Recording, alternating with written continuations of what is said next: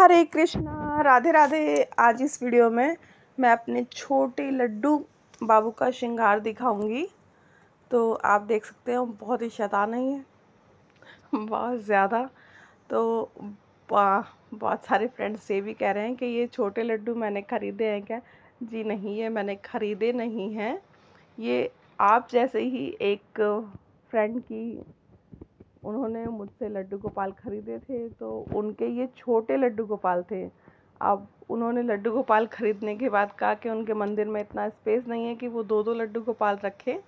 तो वो मंदिर में उन्हें बैठा कर आने वाली थी तो उनसे मैंने कहा कि आप मुझे दे दो। तो उन्होंने ये मुझे दे दिए। तो ये मेरे पास आए हैं और ये भी हो सकता है कि ये मुझे थोड़ा सा सबक सिखाने के लिए आए हैं। क्योंकि एक्चुअली क्या आप सब जानते हैं कि मैंने ड्रेसेस का जैसे कि बनाने का काम शुरू किया है।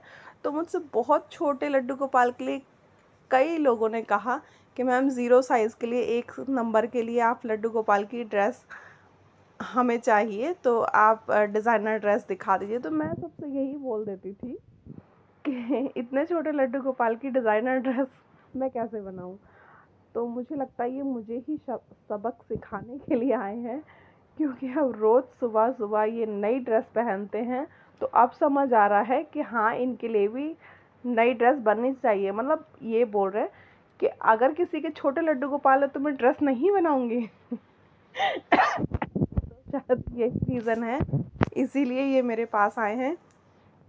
तो अब जिनके भी अगर छोटे ज़ीरो साइज़ के भी लड्डू गोपाल हैं तो सबके लिए मेरे पास ड्रेस अवेलेबल है तो आप ऑर्डर कर सकते हैं। और इनके लिए मैंने ये कुछ मुकुट मंगाए थे तो इन्हें तो एक भी नहीं आया, क्योंकि शायद ये ज़ीरो साइज़ हैं। तो इन्हें एक भी मुकुट नहीं आया, ये देखिए, सब बड़े बड़े बड़े। तो कोई बात नहीं, हम लड्डू बाबू को मुकुट नहीं पहनाएँगे पग नहीं पहनाएँगे ये उनका मुकुट जो उनके साथ था तो हम यही पहनाएँगे और ड्रेस तो वो रोज़ नहीं, नई पहन पहन ही रहे हैं। तो ये देखिए, हमारे लड्डू बाबू तो तैयार हो गए।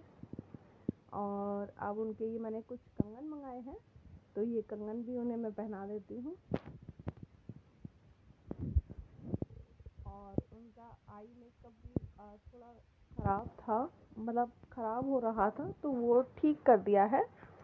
आपने, मैंने फ़ोटो शेयर की थी। तो किसी ने मुझसे कहा भी था कि इनका आई मेकअप ठीक कीजिए तो उनका आई मेकअप ठीक हो चुका है। और आप देख सकते हैं कि हमारे बाबू अब कितने क्यूट लग रहे हैं।